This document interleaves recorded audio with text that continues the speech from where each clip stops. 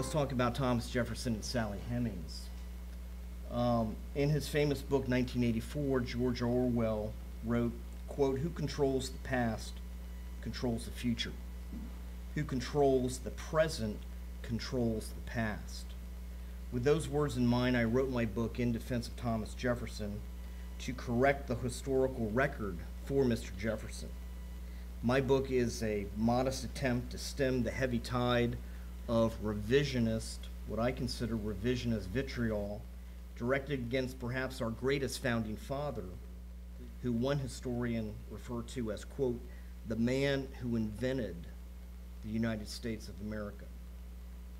I believe my book proves once and for all that the allegation that Thomas Jefferson had an affair with the slave Sally Hemings is pure fiction, possibly politics, but certainly not historical fact or science. The lurid myth reflects a recycled inaccuracy that has metastasized from book to book for over 200 years. A chorus of revisionist slave historians have misread language and invoked chic psychological explanations to misinterpret Jefferson's actions.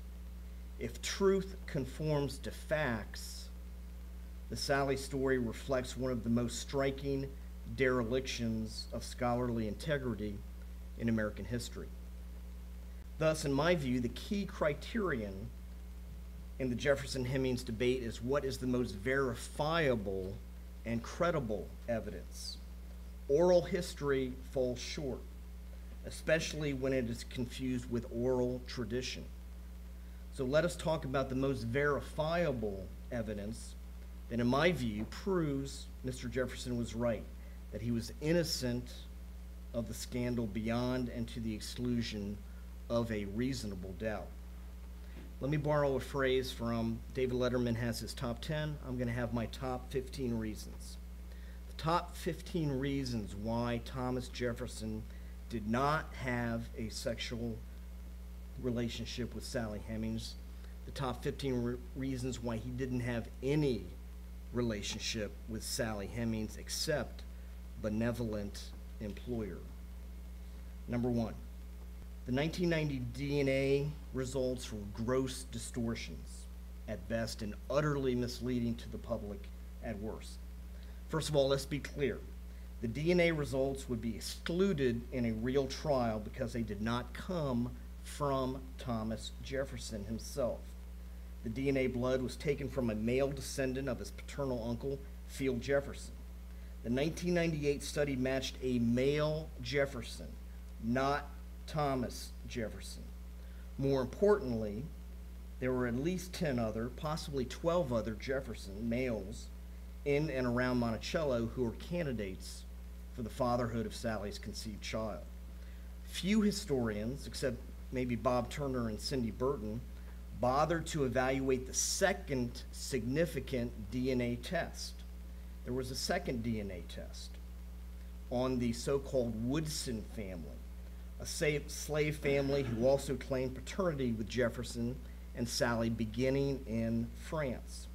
The allegation by Jefferson's political enemies in 1802 were that Jefferson was the father of Tom Woodson, the baby that supposedly Sally had when she returned with Jefferson from France.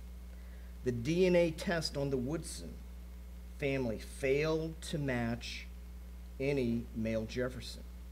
Jefferson was proven absolutely innocent, although the public never hears of this exonerating DNA test on the alleged Paris love child with Sally and Jefferson. Why is this significant? If the Woodson DNA had matched a male Jefferson, this would almost certainly prove 100% that Thomas Jefferson was the father of her child, since he was the only Jefferson in Paris with her. But again, there was no DNA match with the Woodsons. The revisionist historians cannot explain this in any way, shape, or form. This is crucial evidence. Number two, Randolph Jefferson. Randolph Jefferson was the president's younger brother, and I think Cindy talked about him this morning. He is one of the most likely, in my view, of Sally's sexual partners. Based on the DNA test, he would have the same Jefferson Y chromosome haplotype that matched perfectly the Hemings DNA. Randolph had a reputation for socializing with the slaves. He was expected at Monticello approximately nine months before she had the baby, Eston. That was the DNA match. And this is proven by letters that we have from Jefferson and Randolph. Randolph, unlike his accomplished brother, was described by one historian as a half wit and lived just 20 miles south of Monticello.